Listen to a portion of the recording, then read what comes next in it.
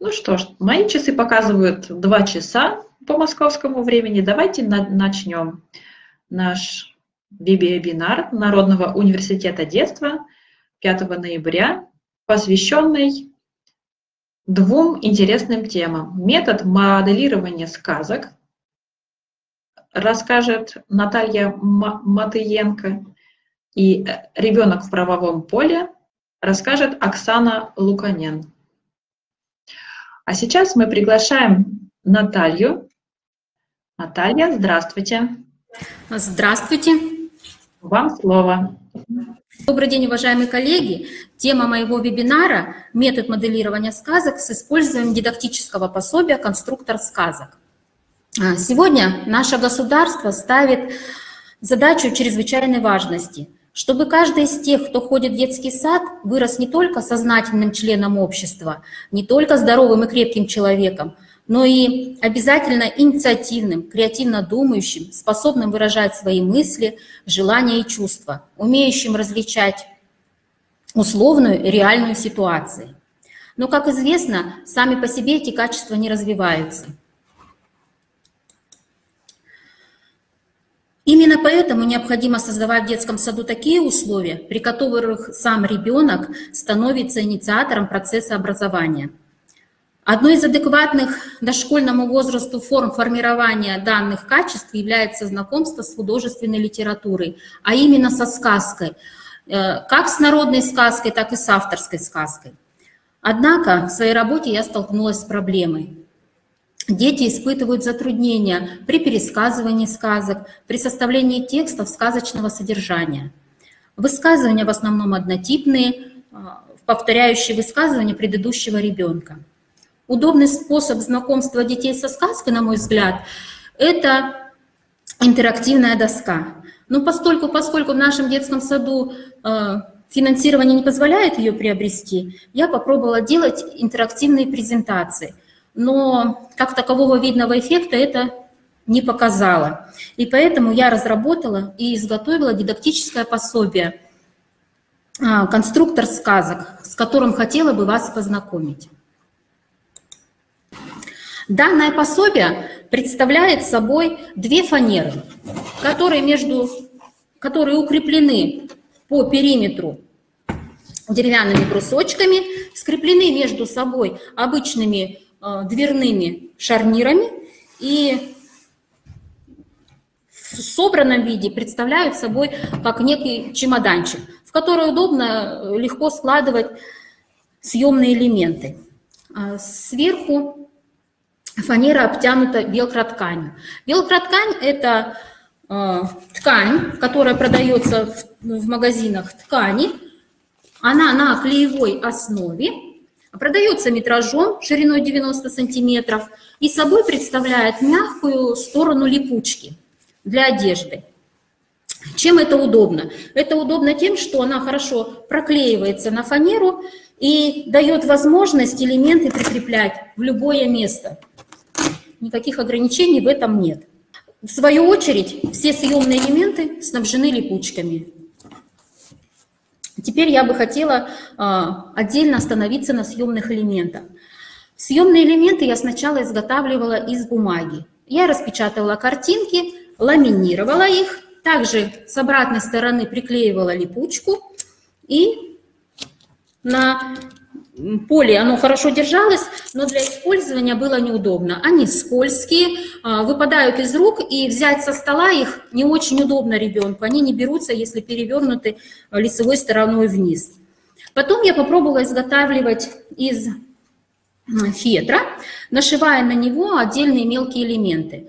Это очень долго и а, не позволяет изготовить эти элементы в большом объеме потому что ну, ограничены и во времени, и в каких-то, ну, может быть, умениях. А дальше я попробовала на фетр наносить при помощи термотрансферной бумаги наносить и изображение картинки. Картинки распечатала при помощи утюга термотрансферной бумаги, наносила на фетр, это пришивала на основание из фетра, снабженное также липучкой. А, Данный способ, конечно же, позволил расширить границы, картинок можно найти много, но стоимость термотрансферной бумаги не позволяет их изготавливать также в очень большом объеме. И в итоге я пришла к одному очень интересному способу. Я стала изготавливать эти элементы э, при помощи печати на габардине. А, на габардине распечатываются на обычном принтере картинки, абсолютно любые с, интернета. А, этот габардин, габардин при помощи флизелина клеевого проклеивается и также пришивается на фетровое основание, на которое заранее пришиваю липучки. А, данные элементы, данные герои сказок, какие-то атрибуты для а, проигрывания сказок, получаются очень яркими, яркими, они очень приятны по тактильным ощущениям, и также с ними детям очень легко работать, потому что все приклеивается, удобно брать со стола и проигрывать сказку. Вот в печатном виде э, данные элементы на габардине выглядят вот так. На А4 по листу А4 распечатываются и проклеиваются на обычный фетр, пришиваются. А, ну и сеть интернета дает возможность делать какие угодно картинки. Их в интернете очень много. А, теперь я хочу а, рассказать вам, как я использую конструктор сказок в работе. На первых этапах мы с детьми проигрывали знакомые сказки, либо те сказки, которые ну, только что прочитали. А, мы выбирали героев, обязательно описывали их характеры, обсуждали действия этих героев, выбирали дополнительные элементы к сказке, домики, тропинки, березки, и размещали их уже в соответствии с сюжетом сказки на игровом поле. А, и после того, как у нас поле для сказки готово, мы уже пересказывали сказку, одновременно проигрывая ее на а, поле конструктора сказок. После того, как дети научились а, пересказывать сказки, мы, я стала вносить разнообразие. Герои могли подбираться случайным порядком при помощи волшебного мешочка, при помощи кругов лулия, а, также а, при ответах на вопросы. Оживляя героев, также можно вносить характерные, не характерные для данного героя особенности характера. Ну почему бы не сделать Бабу-Ягу красивой, доброй, а, желающей всем помочь? А сюжетную линию сказки можно также определить при помощи упражнений «Волшебник», «Где-то кто-то», можно использовать круги Луля. Можно детям задать ход, ход сказки, ход направления развития сюжета, а, может, а можно и положиться на детей. Они сами выведут сказку в то русло, в которое захотят. Также выбираются дополнительные атрибуты к этой сказке. А, сначала дети очень терялись, когда в сказку «Теремок» попадала Баба-Яга а сказка «Гуси-лебеди» остались у нас э, без гусей-лебедей. Но общими усилиями мы находили решение. Дети предлагали совсем неожиданные повороты сюжета сказки. Сейчас, выбирая элементы для игры, дети сами предлагают и неожиданных героев, и, казалось бы, совсем неподходящие дополнительные элементы. А, но в результате получаются очень интересные сказки. После того, как мы а, проиграем сказку, при помощи конструктора создадим а, свою новую сказку, мы обязательно ее оформляем в печатное издание. В данном печатном издании мы распечатываем и ламинируем а, иллюстрации к этой сказке и также делаем съемные элементы, которые могут у нас передвигаться со странички на страничку. Это позволяет э, еще раз проиграть эту сказку, а может быть пофантазировать и создать абсолютно новую. В результате использования конструктора сказок дети не только стали пересказывать сказки, используя прилагательные, синонимы, антониму, но также и научились создавать что-то новое, отклоняясь от шаблонов и общепринятых схем. И это помогло им находить выход из предложенных в сказочных сюжетах ситуаций для своих героев, где-то обхитрить героя, соперника, где-то предлагать нестандартные решения для решения проблемы, сочетать несочетаемые качества героев, придумывать необычное применение атрибутам сказки. Как видите, конструктор сказок прост в изготовлении и может стать вам хорошим помощником при знакомстве детей с художественной литературой. А в развитии образной речи и креативного мышления. А это, в свою очередь, поможет нам достичь задачи, которые ставит перед нами государство. И вот теперь я бы хотела с вами при помощи конструктора создать сказку.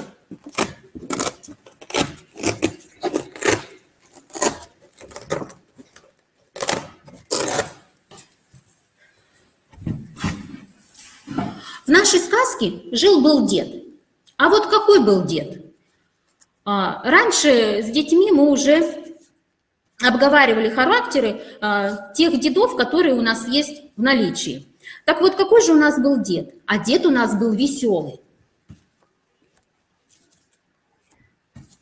И дети определяли, что веселый дед у нас вот этот, этот дед у нас задумчивый, этот дед у нас испуганный, а этот дед у нас ну, сердитый, рассеянный.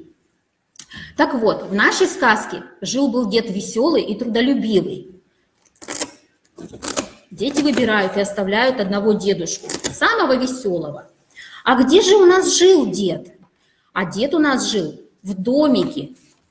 Предлагаем детям для выбора несколько домиков.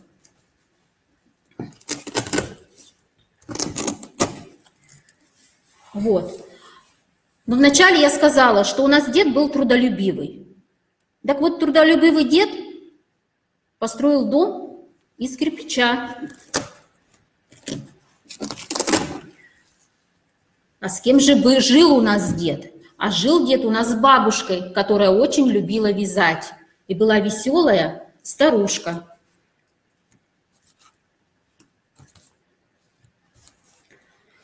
Посмотрев на бабушек, дети выбирают бабушку, веселую, которая любит вязать со спицами. Еще с дедом жила внучка, Внучка наша была тоже веселая девочка и очень любила ходить в лес с корзинкой по грибы, по ягодки. Какую же у нас выберут дети картинку? Ну, конечно же, веселую внучку с корзинкой. Здесь мы выбрали героев по заданным вопросам. Дальше, кто же еще жил с нашим дедушкой и бабушкой? При помощи волшебного мешочка дети выбирают, что с нашим дедушкой и бабушкой жили, ну, допустим, медвежонок, щенок,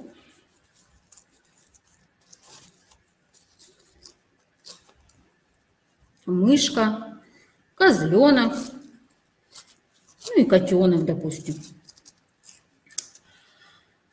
Выбрали мы героев. Теперь мы определим, а, чем же занимаются эти герои? Ну, бабушка отправилась у нас кормить козленка. Мышка-нарушка спряталась в норку. Вот возле крыльца сторожит мышку. Внучка отправилась в лес, а Мишка пошел сопровождать ее, чтобы охранять. А щенок возле дверей лежит и дом стережет. Вот у нас дед отправился в огород. Пошел дедушка в огород. Задать вопрос. Давайте крутанем столько раз, сколько будет 1 плюс 3. 4. Вот мы крутим. Раз, два, три, четыре. И посадил дед у нас ананас. Рос ананас на солнышке, рос и вырос. Ни большой, ни маленький. Какой вырос ананас? Конечно же, дети могут ответить все что угодно, и среди этого будет большущий прибольшущий. Начинаем нашу сказку, продолжаем нашу сказку дальше. Вырос ананас большущий прибольшущий. Думает дед, что же с этим ананасом делать? Вариантов много. Ну что с ним делать? Растет ананас, перерастает. Соответственно, убирать надо ананас. Подошел где-то ананасу, тянет, потянет, не может вытянуть. Кого же дед может позвать? Кто ближе всего? Ближе всего бабка. Покричал он бабку, прибежала бабку, а за ней козленок прибежал. Потянули они на нас втроем, тянут, потянут, вытянуть не могут. Позвала бабку внучку, кричала-кричала, но не дозвалась. Попросила она щенка сбегать в лес привести. Побежал щенок и привел и внучку, и сам прибежал, и мышку привел, медвежонка привел. Тянут, потянут, вытянуть не могут. Кого же можно бы позвать? Смотрят, кот на солнышке нежится. Позвали они котенка. Тянут, потянут, вытянуть не могут. Вспомнил тут кот, что мышка под крыльцом живет. Пришлось им и мышку позвать. Позвали они мышку, прибежала мышка. Мышка за кошку, кошка за мишку, мишка за жучку, жучка за внучку, внучка за козленка, козленок за бабушку, бабушка за дедушку. Тянут, потянут и вытянули ананас.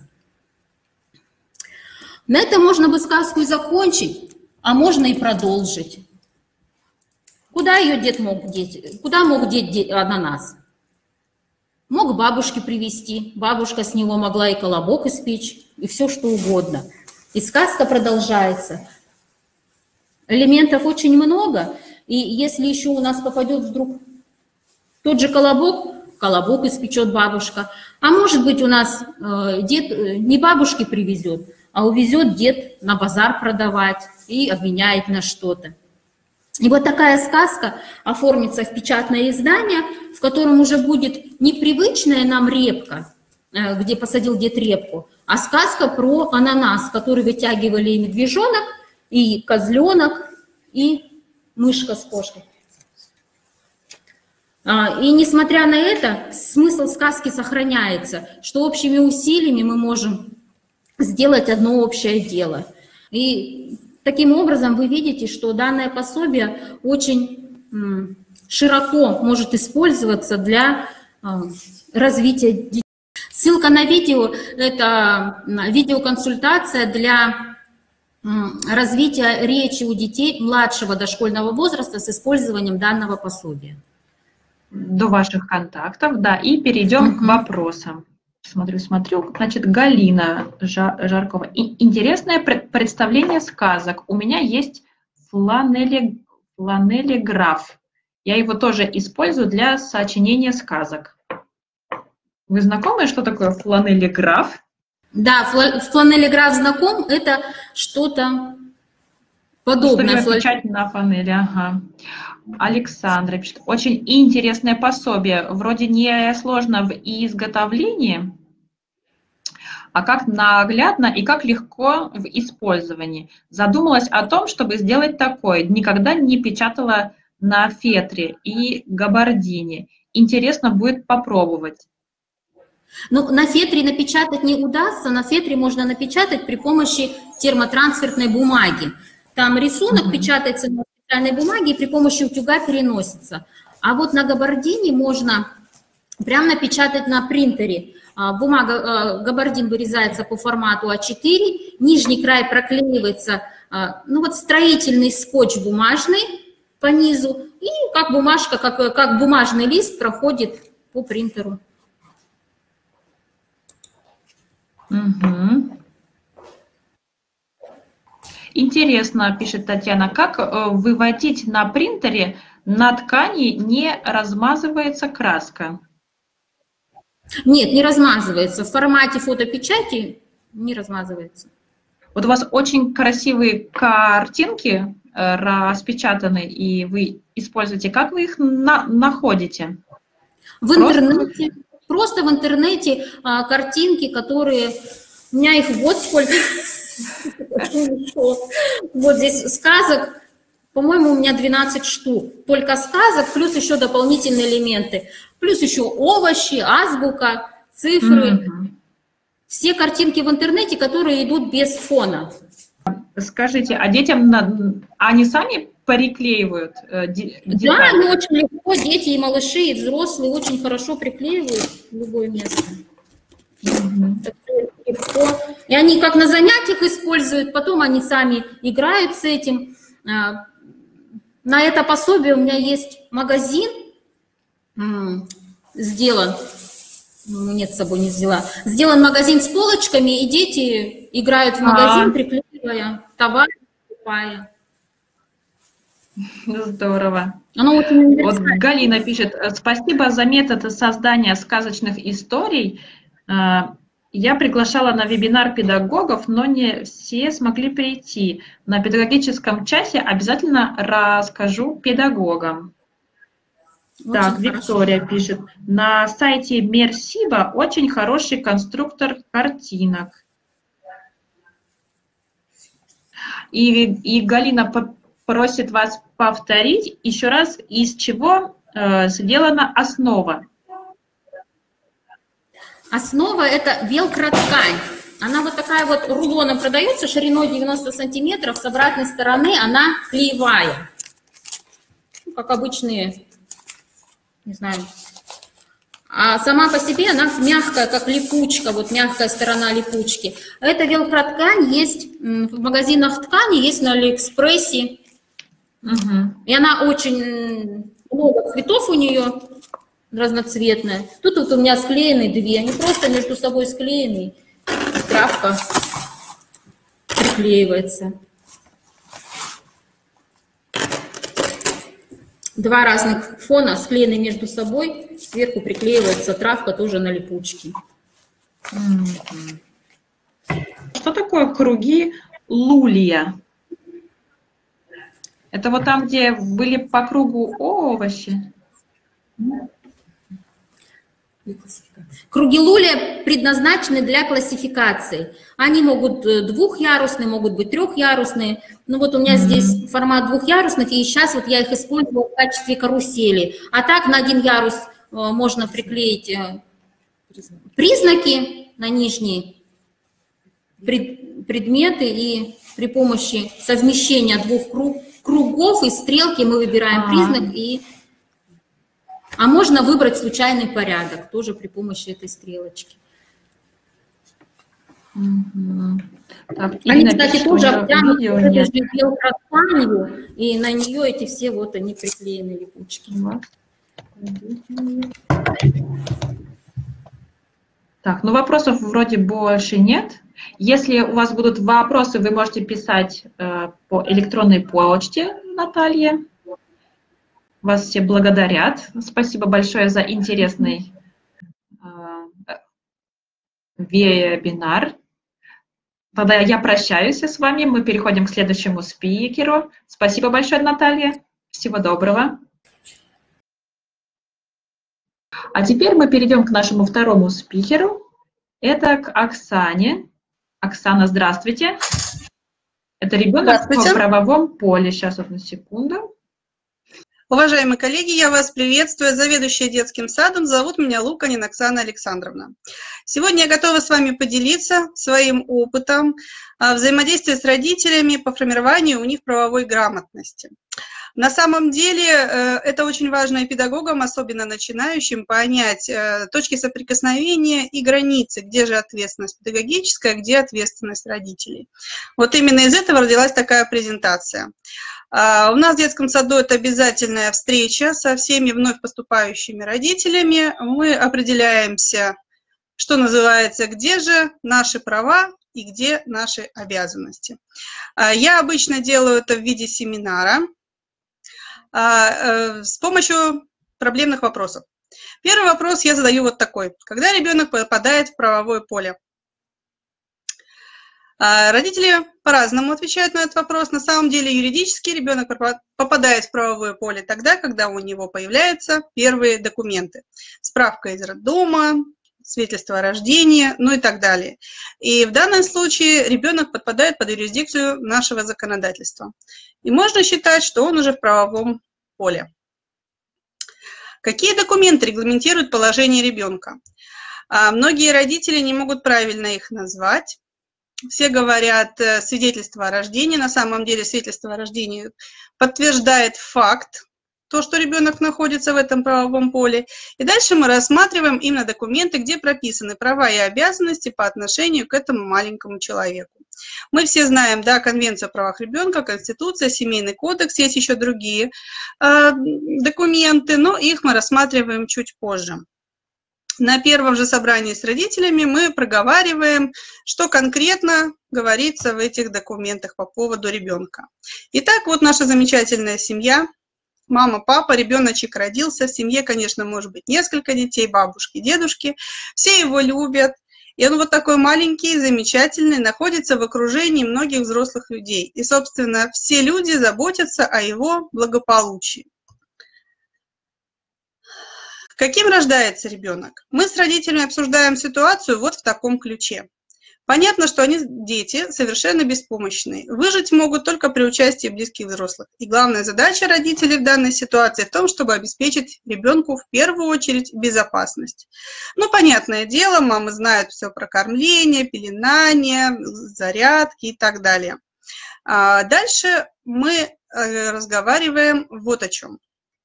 Что же это такое? Родитель – фактор стабильности. Здесь я говорю о значимых взрослых, которых принимает ребенок с момента рождения, и те взрослые, которые поведут его по жизни, оставят значимый вслед в его воспитании. И эти взрослые должны быть для ребенка фактором стабильности. То есть это нечто такое, которое его однозначно всегда любят, сильный, смелый, безопасный. Рядом с ним ребенку всегда хорошо. Поэтому такой взрослый будет являться для ребенка образцом и научит, как себя вести в разных жизненных ситуациях. И если ребенок поступает в соответствии с образцом родителя, он будет знать, что он поступает правильно, хорошо, и он будет в согласии с миром, от которого не нужно будет защищаться. Вот это самая важная, главная роль родителей в раннем детстве, то, что должны они дать ребенку для выхода в социум. Ребенок в семье окружен, как я уже говорила, всеми ее членами, и взаимодействие между ними определяется семейным кодексом. В нем прописываются права обязанности родителей, бабушек, дедушек, самого ребенка, кто как между собой общается. Здесь, в принципе, все понятно. Главное – благополучие ребенка. Родительская ответственность закреплена в Семейном кодексе, как вы видите, да, в 63 статье. Все это мы тоже проговариваем на самом первом нашем семинаре. О чем же обязаны заботиться родители по отношению к своему ребенку. И следующая статья 65, которая говорит про родительскую ответственность. Что же они имеют право делать, а чему не имеют права допускать. Итак, ребенок вырос, он выходит в мир. Первое, куда они выходят, маленькие наши детки, выходят с мамой во двор, в песочницу. И это уже первый опыт ребенка поведения в социуме. Главное правило взаимодействия ребенка с миром. Родители всегда говорят очень много разных вариантов, но самое главное правило взаимодействия с ребенком исходит из картинки, если никак не получается добиться правильного ответа. Ну, здесь э, такие смешные смайлики, основные типажи, да, как дети себя ведут, то, что может делать во дворе. И мы выходим на самое главное правило взаимодействия не только детей, но и вообще людей между собой. Правило звучит «не навреди». Потому что даже маленькие дети могут навредить друг другу, не желая того или желая, но тем не менее их взаимодействие подпадает под уже новые документы. Регламентируется Гражданским кодексом Российской Федерации. Ну, и я говорю, не дай бог, конечно, но уголовным, потому что Уголовно это нас немножко, немножко дальше, понятное дело, когда уже там ребенок может нанести большой вред. Пока, тем не менее, гражданский кодекс. Мы говорим о том, что наши права заканчиваются там, где начинаются права другого человека. И учим этому ребенка. Родители должны научить, да, ты можешь делать что-то, что тебе захочется, пока это не мешает другим. Дальше ребенок растет и поступает в детский сад. Мы рассматриваем главное отличие семьи детского сада по отношению к ребенку. Много версий всегда выдвигают родители, но самое главное мы рассматриваем вот в этом. В семье ребенок один, и вокруг него взрослые. Все подчинено благополучию этого ребенка. В детском саду детей много, и на него один-два взрослых. И все подчинено благополучию всех детей, а не только одного, которому что-то хочется. Исходя из этого, мы знакомим родителей с документами, по которым мы работаем. Детский сад – это образовательная организация, и в ней действуют определенные законы. Это закон об образовании, в котором прописаны права и обязанности как родителей, так и педагогов. И Санпин – самые главные наши требования, которые мы должны выполнять. И, например, давать ребенку не колбасу, как хочется родителям, а правильное питание, которое определяется медиками в соответствии с требованиями Санпин. Вот это мы обсуждаем с родителями предметно, много. И рассказываем, что самое-то главное, ребеночек приходит в детский сад, ему уже два года. И что вы воспитали, то мы дальше и будем образовывать. Так. А, говорим про родительскую ответственность, которая прописана в Федеральном законе об образовании. Выборки все мы выводим на слайды. Вот эту самую презентацию и видят родители. Вот то именно так, как я сейчас ее рассказываю. И приходим вот к такой ситуации, к такому выводу. На каком же кораблике поплывет ребенок по реке жизни? Насколько он будет успешен в социуме? Мы не говорим сейчас о конкретном развитии, петь он будет, плясать, или он будет математиком. Мы говорим, как он себя будет чувствовать в этой жизни, как он будет себя вести, и какую отдачу получит от этого мира. Вот уже вышел следующий слайд, да, мы выходим на правила, что это такое, а, мы смотрим происхождение слова, что это на самом деле истина, да, правильный. А, почему идет ассоциация с кораблем? Правило, руль, да, то, что поправляет нас, направляет в правильном направлении. Наш богатый могучий русский язык очень в этом смысле символичен. И дальше я показываю такие картинки, картинки, конечно, взяты с интернета, которые символизируют, как себя может чувствовать ребенок в социуме, если мы берем аналогию, что это река жизни. Да? То есть кого-то родители подготовили так, что он при малейшем дуновении ветра или каком-то повреждении, вот видите на первой картинке воздушный матрас, он может сдуться, ребенок утонет. Где-то ребенок приучен э, быть не один, а в команде, у него есть весла, то есть родитель научили чуть большему, ребенок больше способен в этой жизни а, приспособиться. Да, и можно следующий слайдик. Вот видите, кто-то вот прямо вот так ребенка научил, что он знает и как управлять, и в чем быть, а кто-то как в медном тазу может раз и утонуть при малейшей волне. Но эти картинки на самом деле ярко, образно, символично показывают родителям, что может быть. Словами это объяснять долго, а картинками вот он раз и увидел. Так, дальше-то. Ага. Вот такой вопрос. На самом деле, зачем это нужно нам, педагогам в детском саду, в принципе, всем понятно, да, чтобы обеспечить безопасность детей, чтобы всем было комфортно, чтобы мы могли с ними заниматься, научить чему-то новому. А вот зачем это нужно детям, тоже родители знают. Опять же, потому что приспособиться в социум, много отвечает. И я задаю вопрос, зачем это нужно родителям? На самом деле, почему-то этот вопрос вызывает большие сложности. И здесь мы обсуждаем ситуацию, когда родителям это нужно в первую очередь для того, чтобы понять, а в правильном ли направлении я с ребенком занимаюсь, а так ли я воспитываю и могу ли я гордиться своим замечательным ребенком. Ну и вот такая, опять же, символичная картинка – помощь родителям образовательной организации. В статье 44 четко прописано именно в помощь родителям, поскольку родители являются главными педагогами и воспитателями своих детей. Дальше мы рассматриваем преступление ребенка в социум, что же помогает ему быть успешным, то есть что же конкретно родители-то должны сделать, что мы-то от них хотим видеть и что поможет нашему ребенку. Так. И выходим вот примерно на такие моменты. что нам в жизни очень помогает вежливость, что ребенку очень важно научиться самообслуживанию, что очень полезно уметь слушать и отвечать, а также обращаться за помощью к взрослому, а не сидеть где-нибудь за верандой и плакать, что что-то не получается. Знание правил поведения в общественных местах облегчает жизнь на самом деле всем абсолютно. Если ребенок правильно себя ведет, значит, он свободен пойти в любое место, куда ему захочется, да, там, в театр с родителями, еще куда-то. Ну и не совершать недостойных поступков мы обсуждаем самые простые, самые мелкие. Как показывает практика, э, в высоких материях родители ориентируются гораздо больше, чем в самых простых моментах. Сорить, ломать, кричать, ругаться, драться. Вот такие моменты почему-то очень часто выпадают из понимания родителей.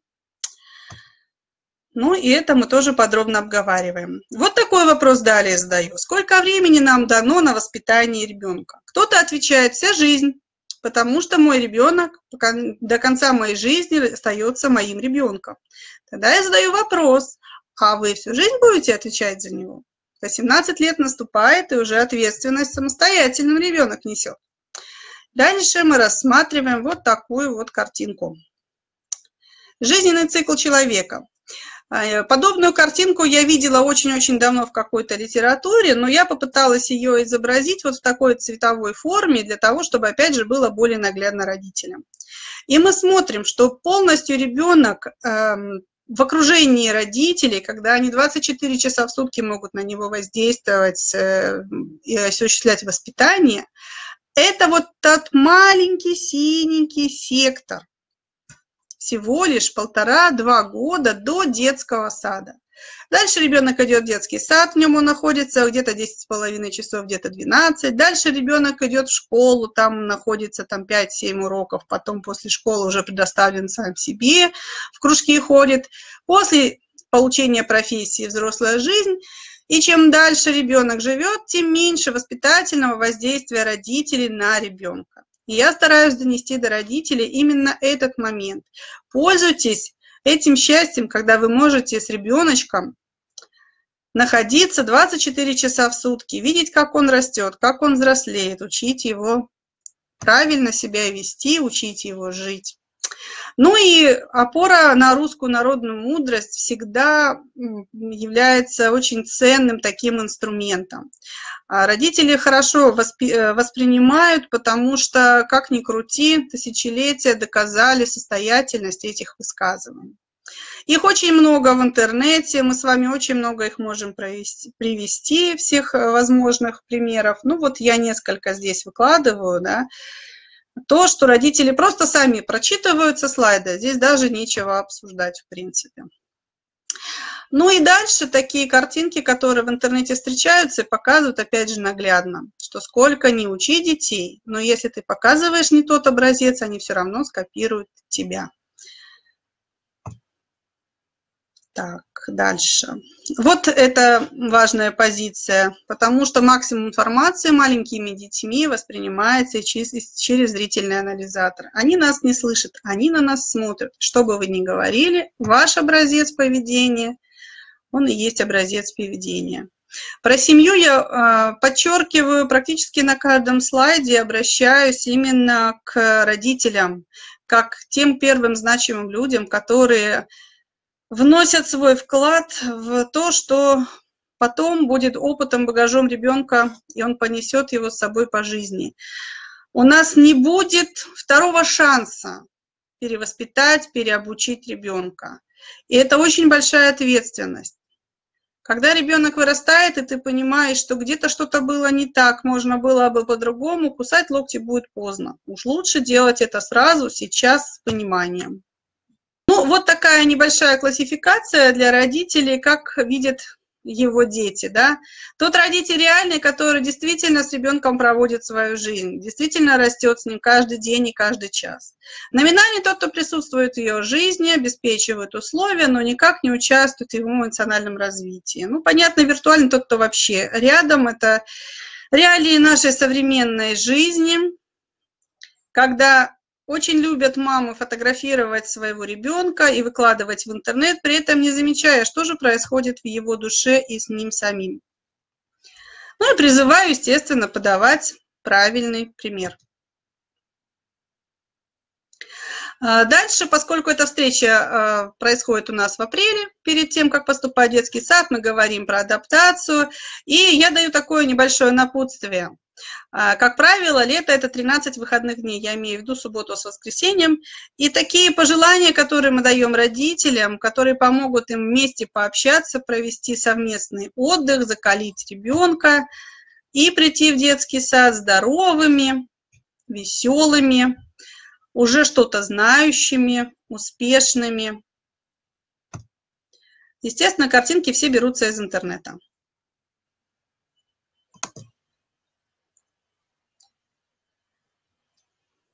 Я стараюсь в своих картинках не обходить никаких членов семьи вниманием, то есть это и бабушки, и дедушки, и мамы, и папы, и братья, и сестры. Ну вот и разные аспекты жизни, да. Там, где ребенок уже даже самый маленький, но может поучаствовать в семейных делах. Так. Ну и вот, благодарю всех за внимание. Приглашаем родителей в детский сад. Обычно после этого. Здорово. Давайте переключим там, где ваши контакты. Угу. Значит, был такой вопрос uh во время презентации. Всем очень э, понравилась и заинтересовала презентация. Есть вопрос, можно ли ее как-то получить? Да, Она, я думаю, да. можно. Да. Uh-huh. Я же вам презентацию отправила, ее можно выложить людям. Uh-huh. Не жалко совершенно. Uh-huh.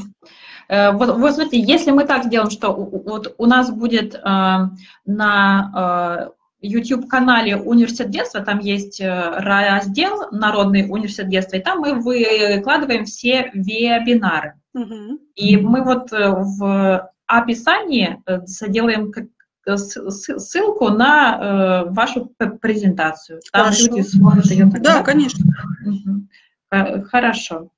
Так, давайте посмотрим, есть ли у нас вопросы. Угу. Так, Альфия пишет, благодарю спикеров, э, рада встрече с коллегами. Э, коллеги, вы можете задать сейчас вопросы, у нас есть 10 э, минут. Так, Галина, спасибо, а то пропадали картины. А, это по поводу презентации. Угу.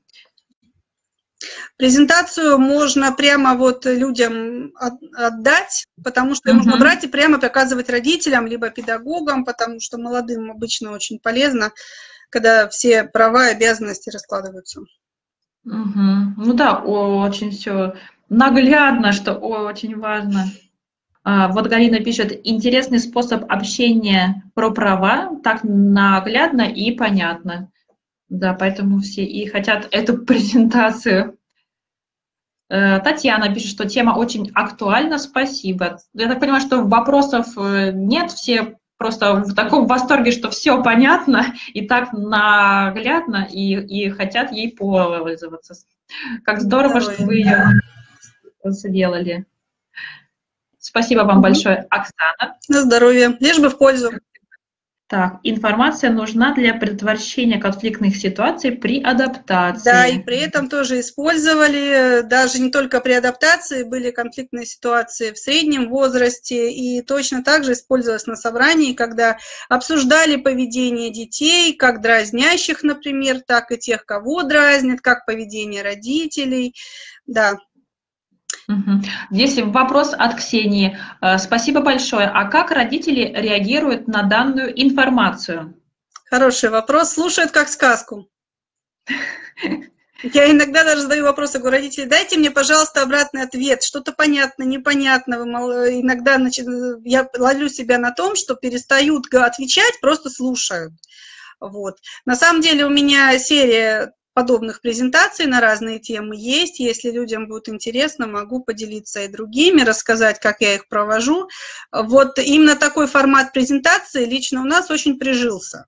Когда проблемные вопросы, и у родителей есть возможность что-то сказать, ответить, задать свои вопросы, эм, это им полезно. Я даже стараюсь теперь уже получив уже опыт за пять лет вот таких презентаций, последние два года я даю такую маленькую аналитическую такую анкетку, буквально очень маленькую рефлексию там, и все пишут на 100%, что им это интересно, что им это полезно. Э, не все пишут, что будут использовать, но это личный выбор каждого. 98, по-моему, процентов только готовы использовать. Вопрос, как они это используют, это уже отдельная тема, но, по крайней мере, 18 эм, тем мне еще родители заказали, скажем так. Ну, то есть объявили, на что они хотели бы услышать ответы. То есть это еще перспектива готовить дальше. У вас может быть целый курс таких лекций. Ну, да, четыре уже разработанных, еще четыре сейчас в разработке, и видите, 18 жаждут.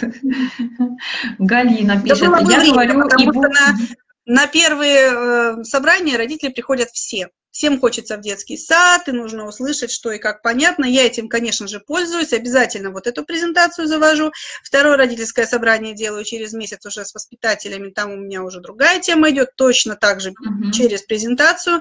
Потому что если сразу не обозначить все наши точки над «и», что и как делают, да, где наша ответственность, где ваша ответственность, тогда будет очень сложно. А если я с самого начала обозначила правила игры и со своей позиции это преподала и это тоже также видят, соответственно, они поддерживают э, ту же тактику, те же требования, то родителям уже ничего не остается делать, потому что если возникают какие-то вопросы или конфликтные ситуации, вы давайте вспоминать. Я же вам сказала, если это ваше личное желание золотой унитаз, то это за ваши личные uh-huh. деньги.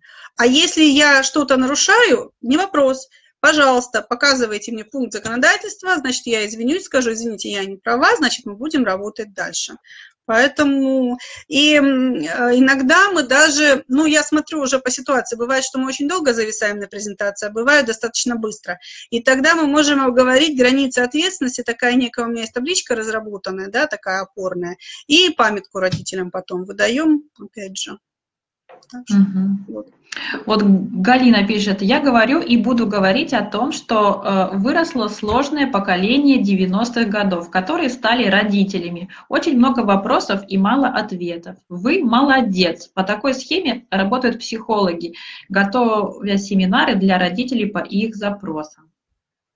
Спасибо. Альфия угу, пишет, мы почти всем коллективам посмотрели и очень заинтересовались. Тема актуальная, важный взгляд в формирование правового государства.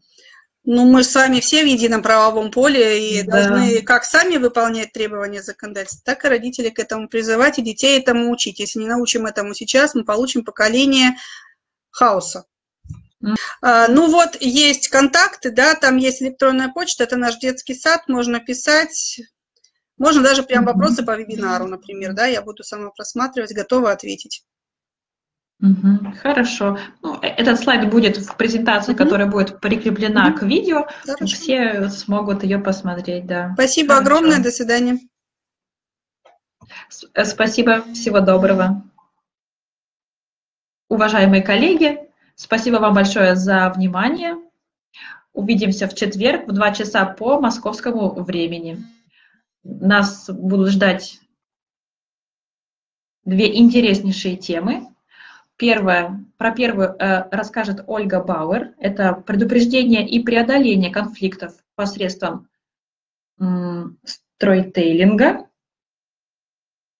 А вторая тема, э, ее раскроет Ольга Разгонюк. Речевые игры для развития лексико-грамматического строя речи. Ух, какие две сложные темы. Нас ждут в четверг. Присоединяйтесь. Всего вам хорошего. До четверга.